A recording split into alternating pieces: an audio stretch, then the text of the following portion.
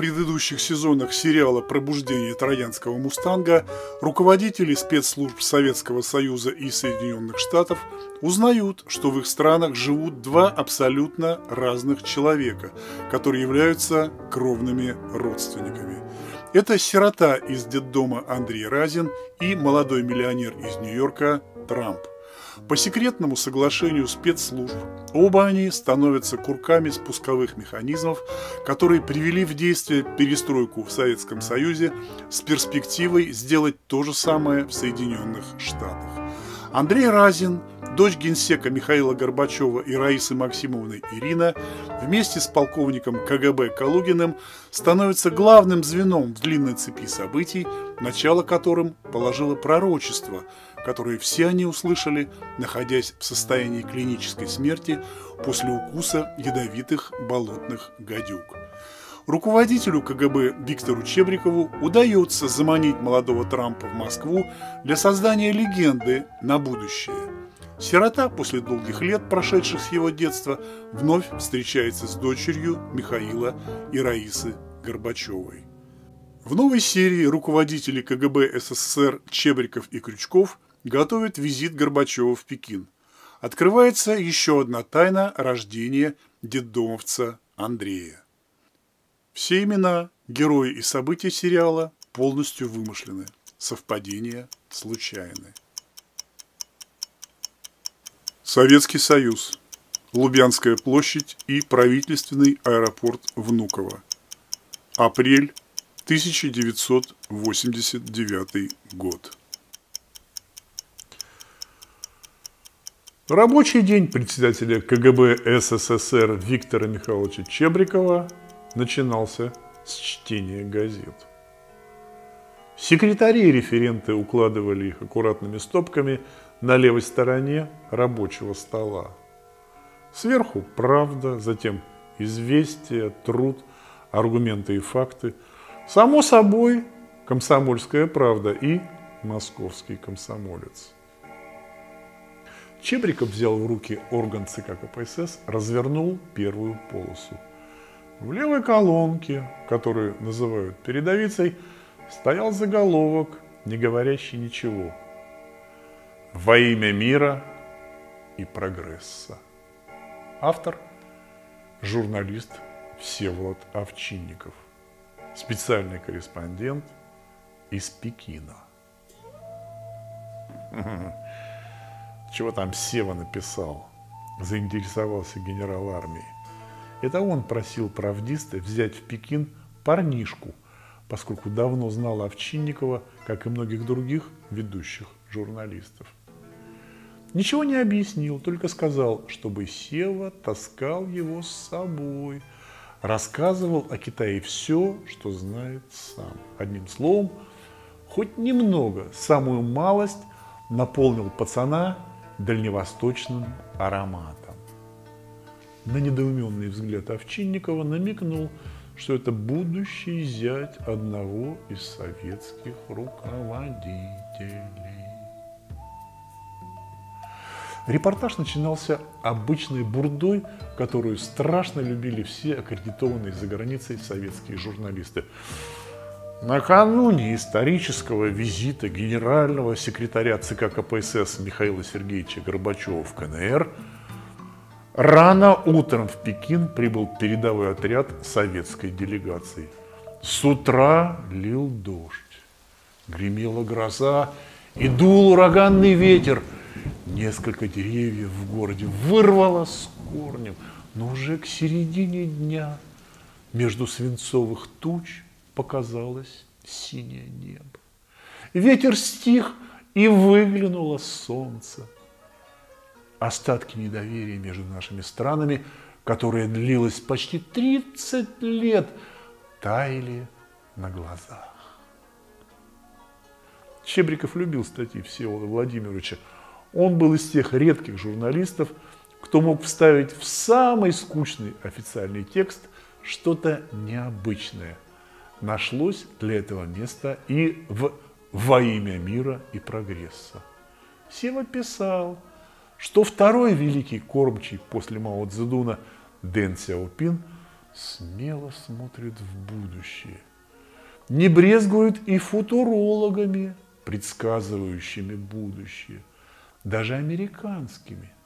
Назвал имя футуролога Элвин Тофлер. Генерал снял трубку телефона цвета слоновой кости и гербом Советского Союза на диске. Владимир Александрович, здравствуйте. Здравствуйте, Виктор Михайлович, ответил его первый заместитель, начальник первого главного управления КГБ СССР Владимир Крючков. Сирота в Китае вместе с Овчинниковым. Знаю о каждом шаге. Виктор Михайлович, даже о том, что сирота в первый же день стащил из зала приемов пирожки с мясом, его пиджак порвала собака. Прошу вас, уберите из донесений все негативное. Вдруг первый заинтересуется. Обязательно. Парень оказался любопытным и абсолютно лишенным комплексов неполноценности. Даже пироги с мясом заворачивал в салфетки и прятал в пиджак открыто. Владимир Александрович, что у нас на Тофлера? Уже подготовил доклад на основе донесений 1983 года. Берите и несите ко мне в кабинет прямо сейчас. Чебриков положил трубку и открыл вторую полосу правды. Затем отложил газету в сторону. В кабинет вошел генерал Крючков. Подошел к столу председателя и положил перед ним обычную папку с тесемками, на которой было написано фиолетовыми чернилами. Дэн Сяопин, Тофлер. И дата. 12 мая 1983 года. Наша агентура в секретариате ЦК Компартии Китая получила доступ к стенограммам их бесед. Всего семь. Ничего особо секретного Дэн американцу не говорил, больше слушал. Поэтому на расшифровке не было литеры особо секретно и даже секретно. Дэн слушал, а Тофлер пересказывал содержание своих книг. В США это профессия – футуролог, толкователь будущего. «Догадываюсь», – коротко ответил Чебриков. Он уже развязал тесемки папки и взял в руки листы с напечатанными на машинке текстами. Обратите внимание на лист сопровождения, обратился Крючков к председателю. На внутренней стороне папки был приклеен бумажный карман. Из него торчал кусок плотной коричневой бумаги. На нем сотрудники архива указывали, кто и когда истребовал папку. На этом листе стояло 12 одинаковых подписей. Юрий Андропов. Все за 1983 год, когда Юрий Владимирович уже был секретарем ЦК, и папку ему доставили на Старую площадь. В 13 графе стояло имя Крючкова. Интересно, проговорил в задумчивости Виктор Чебриков. Я уже был председателем КГБ, а он мне об этом ни слова. Хотя о сироте я знал хорошо, от него самого. Думаю, сам не понимал, что с этим делать. Тофлер говорил о странных вещах. Скорее всего, Юрий Владимирович интересовался прогнозами на будущее для работы генеральным секретарем. В то время он стал уделять меньше внимания тяжелой промышленности и оборонному комплексу. Пытался протащить что-то абстрактное, что указано в стенограмме. Но не судьба.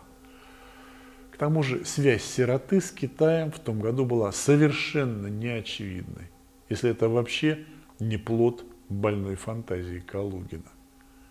Ни сирота, ни невеста ничего такого про иероглифы и змей не говорили. А вот я Калугину верю, произнес Чебриков. Слишком давняя история. Да и на психа он не похож. Таких офицеров держать в Москве, а не в поле, дорогое удовольствие. К тому же Эта операция спланирована Андроповым. Значит, есть и расчет. Калугин делает все правильно. Лепит из Андрея музыканта, подвел к невесте. Удивительно, но у дочери Михаила Сергеевича с самой школы не было друзей. Ни мальчиков, ни девочек. Училась, читала книжки, но когда увидела в Крыму Андрея, мгновенно изменилась. Даже рассказала о нем Раисе Максимовне. Кстати, не знаю, говорил ли вам Калугин о втором инциденте с потерей ощущения реальности. В письменном отчете я просил его об этом не указывать. Говорил. Я просил дать справку о возможности тройственного отключения сознания. Просил генерала Балашова, руководителя военной части 1003. Он подтвердил, что магнитное излучение мозга может войти в резонанс с излучением другого человека. Возникает пара, которая общается на ментальном уровне. Могут и три человека войти в резонанс, но это абсолютная редкость. Возникает лишь в том случае, если один из троих имеет громадную энергетику. Ее мощность возрастает в разы, если подпитывается другими. Создается эффект сродни лазерному излучению, где накладываются волны и создается эффект резонанса. Кстати, второй инцидент с полетом вновь завершился китайскими иероглифами. Если принять во внимание теорию генерала Балашова, то один из них, самый мощный генератор излучения мозга, имеет некую ментальную связь с Китаем. Крючков приподнял очки, в которых ходил всегда. Я тут порылся. У Михаила Сергеевича и Рейсы Максимовны по Китаю все чисто. Там больше украинской крови. Калугин из чисто питерских, как говорят, из коренных. А что Андрюша Разин? Больше немец? Немца там на четверть но обнаружилась гомеопатическая доза как раз китайской крови. Не томи, Владимир Александрович. Чебриков почти забыл про папку со стенограммами разговора Тофлера с Дэн Сяопином. Мать Екатерины Барсуковой, то, что родила от немца Трумпа дочь Валентину, родилась в Желтороссии – 1903 году. Это место еще называли Квантунской областью с центром в Порт-Артуре. Родилась от русского офицера и китаянки. Они, кстати, были женаты, китаянка приняла православие. Господи, час от часу не легче, не удержался Чебриков. А внукам отвечать за грехи отцов – так что эта история не только с американским уклоном, и с китайским тоже. Слава богу, послали сироту в Китай. Думаю, это скоро аукнется. Крючков замолчал. О чем-то думал Чебриков, но первым прервал молчание. Давай полистаем твоего Тофлера. Кстати, через две недели Михаил Сергеевич летит в Пекин. Надо бы ему приготовить короткую записку о том, чем тот подцепил Дэн Сяопина. Горбачев с Дэн Сяопином встречаются, и китайцы активно готовятся. Виктор Михайлович вновь взял листочки стенограммы разговора американца с китайским лидером. Главное, о чем он прочитал за несколько минут, было то, что индустриальная эра заканчивается. Заводов и фабрик построено столько, что они уже мешают друг другу. Наступает эра новых технологий, а вся грязь из стран золотого миллиарда перемещается в страны третьего мира. Главный кандидат как раз Китай. Он должен в ближайшие 30-40 лет стать мировой фабрикой. Американец без конца повторял термин «третья волна». Она остановит разрушение природы, избавит мир от гор мусора на земле и в океане. После начала промышленного развития сельского хозяйства и вонючей и грязной индустриализации, в которой погряз Советский Союз, грядет эра компьютеров и коммуникаций. Но одна мысль американского футуролога чрезвычайно насторожила генерала армии Виктора Чебрикова. Тофлер ездил по мозгам товарища Дэна с подозрительной революцией власти. Мол, все меняется от техники до культуры, а власть продолжает структурироваться по-старому. Кто сильнее, тому и власть. Тофлер и не думал употреблять такой термин, как идеология. Чебриков листал страницы стенограммы и все ждал, когда Дэн размажет американца по стенке. Как это без идеологии? А социализм? А коммунизм? Нет. Американец все долдонил о каких-то знаниях, о том, что главным капиталом самого недалекого будущего станут научные знания. Они, в свою очередь, не будут доступны без образования, как в школах, так и в институтах. У кого мозги, тот и хозяин, у того и власть. Ишь, как наяривает, обронил генерал и сложил листочки в папку. Предлагаю все же сделать записку Михаилу Сергеевичу. Дэн говорит об образовании направо-налево. Его в Китае сегодня мало кто понимает, а он при делах. Знает французский язык и русский вполне сносно. Учился в Париже и в Москве. Будет о чем Михаилу Сергеевичу с ним поговорить. Они с Рейсом Максимовной закончили МГУ. Это мечта любого китайца. Хорошо. Передам с другими документами. Михаил Сергеевич любит знакомиться с документами в самолете – во время перелета. Да, и не забудьте дать короткую справку, что это за птица такая, Элвин Тофлер. Он из еврейской семьи, иммигрантов из Российской империи. Тоже будет приятно. Через несколько дней правительственный Ил-62 готовился к вылету в Пекин. Горбачевы и члены делегации заняли места. Самолет еще не сдвинулся с места, когда из-под пола послышались глухие удары.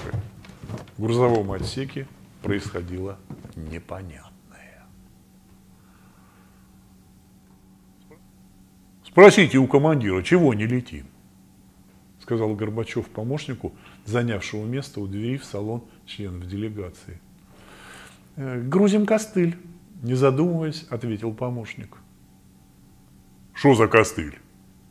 Горбачев в недоумении поднял брови. «Э, такая труба на колесиках. Чтобы тягач вытолкнул Ил-62 на полосу, ему нужен костыль. Его цепляют к переднему шасси и тянут самолет на полосу. Кроме советских аэропортов, в том же Китае таких костылей нет. Поэтому возим с собой. Вот погрузим его в грузовой отсек и взлетим. Раиса Максимовна никак не отреагировала на сообщение о костыле. Президент Советского Союза удовлетворился объяснениями, достал из черного кожаного портфеля стопку документов и положил их на столик. Салон президентского отсека выглядел богато и необычно. Деревянная отделка, диван – обеденный стол и глубокие кресла, вместительный туалет и даже душ. Для того, чтобы поспать, отгорожен отдельный сегмент. Раиса Максимовна была явно чем-то удручена. Муж очень чутко ловил настроение супруги и, наконец, не выдержал. Раиса, ты чего-то забыла? Нет, нет, все собрано для командировки, как всегда. Носки, маечки и трусы в отдельном чемодане. Тогда в чем дело? Он отошел от письменного стола, и сел на кресло рядом с женой. Миша, мне кажется, у Ирины появился молодой человек. Она стрельнула глазами на мужа, ожидая его реакции. Ну, наконец-то! Михаил Сергеевич откинулся на спинку кресла. Давно я этого ждал. А то погонит меня из партии или из ЦК. Женихов днем с огнем не найдешь. Будут бегать, как черт от Ладана. Что ты такое несешь? Кто ж тебя выгонит? Многие хотят. А кто жених? Я его знаю. Боялась тебе говорить. Африканец? Пьяница? Пижон? Начал он перечислять свои представления об ужасе. Нет, не африканец. Так кто? Не томи. Неужели еврей? Тоже хорошо. Помнишь, Ира была еще маленькая. Мы первый раз привезли ее к маме, Марии Пантелеймоновне. Как не помню, чуть не погибла. Так вот, жених, тот самый Андрюша Разин, сирота детдомовец. Это он потащил Иришку на реку, где ее змея укусила. Подожди, подожди. Лицо Горбачева начало наливаться кровью. Он закинул голову вверх и широко открыл рот. Он так делал, когда казалось, что давление подскакивает до опасного предела. «Это тот змееныш? Ну, мы еще посмотрим!» Он встал с кресла и вернулся к письменному столу. Сел, пристегнувшись ремнями безопасности, начал беспорядочно перебирать бумаги. «Когда садимся у Пекине? Сколько времени будет по местному?» Он вновь обратился к помощнику. «Михаил Сергеевич, вы забыли, наверное, первая посадка в Анадыре, акклиматизация и собрание с партактивом. Плюс посещение строительной площадки особого района в заливе Креста на Беринговом море. Э, да, да, да, да. Совсем вылетело из головы. Он сложил в сторону китайскую стопку документов и положил перед собой особую, чукотскую. Члены Политбюро давно интересовались, что происходит на Чукотке в заливе Креста. Еще при Андропове в морской порт Анадыря начали забрасывать морские транспорты со стройматериалами, тяжелой техникой, готовыми жилыми домами. ЦК не догадывались, что делают военные строители. Никто и не интересовался. В последние годы, когда денег в бюджете становилось все меньше – Горбачев начал злиться. Что за черная дыра высасывает из Минфина миллиарды рублей? Но кроме финансовых отчетов по работе строителей, о проекте Андропова не знал никто. Пора было с этим кончать. Наконец, все четыре двигателя правительственного Ил-62 взревели, самолет сдвинулся с места и рванул по взлетной полосе.